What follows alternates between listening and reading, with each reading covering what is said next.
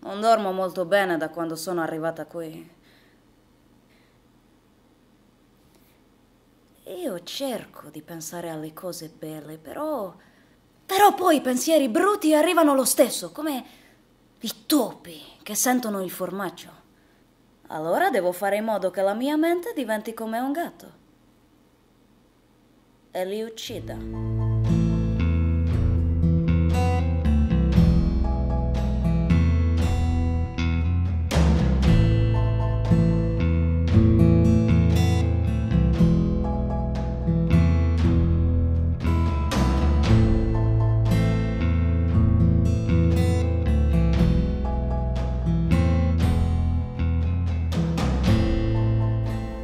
Padre tutti i giorni si alzava alle sei e tornava la sera per la cena. E non ho mai capito che lavoro faceva.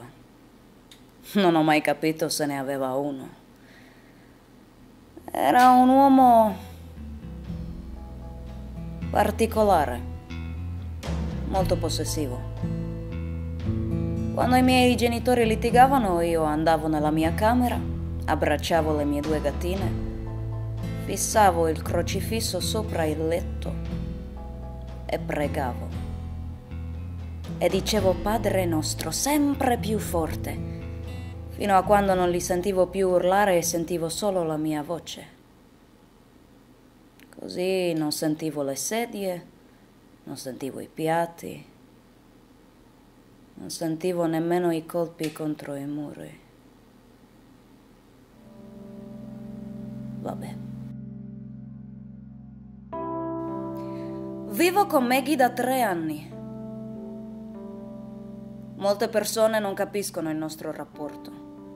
Pensano che sia malato. Solo perché non voglio lasciarla mai e soffro quando non c'è.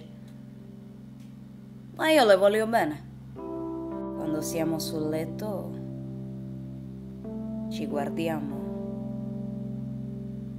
E lei si addormenta piano piano mentre le faccio le carezze sulla pancia, la pancia morbida, morbida.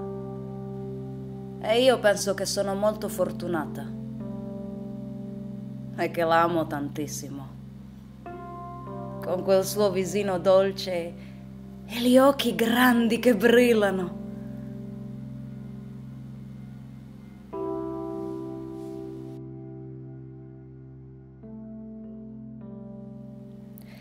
Il giorno che il vicino ha piantato i fiori gialli, pioveva. Qui piove quasi sempre, ma a me la pioggia piace. Qui in Inghilterra la gente è strana, non è come prima. Prima stavamo a Roma. Sono anche andata a sentire il Papa in piazza, perché io sono cattolica. In Romania siamo pochi cattolici.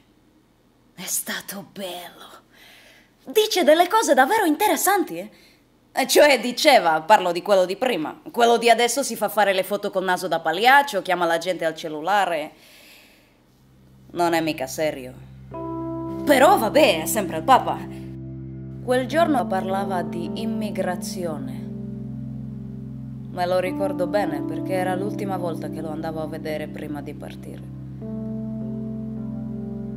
E ho pensato che parlava un po' anche di me. Ha parlato della fede e della speranza. Ha detto che quelli che vanno via dal loro paese vogliono una vita migliore, che vogliono dimenticare il passato.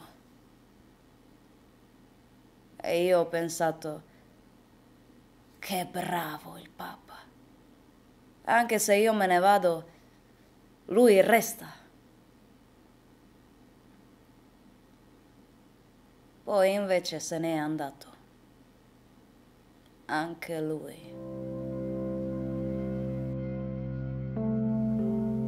Mi ricordo che una volta sono andata dalla mamma mentre puliva e ho chiesto se potevo aiutarla. Lei mi ha detto di sì. Mi ha fatto salire su una sedia, mi ha abbracciata e mi ha dato una spugnetta. Ho passato il tempo a immergerla nell'acqua e strizzarla. Immergerla e strizzarla. Mi piaceva. Perché mi sentivo un po' come Dio. Facevo piovere. Secondo me, quando Dio fa piovere, strizza le nuvole